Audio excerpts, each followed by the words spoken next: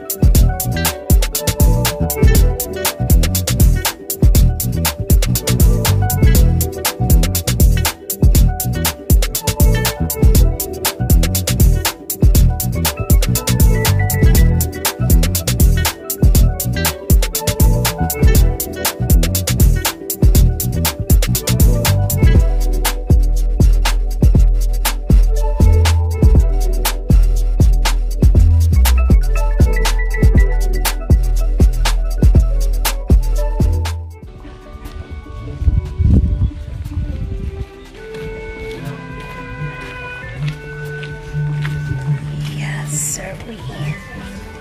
Hey guys. Wow. You're the band, mate. Me. The world. um, um, Ginger beer. beer? Oh. Some cheers. That's a sign. Thanks. Wow. Yeah, the, It was my, uh, my so on the set. Um, ginger beer. Mm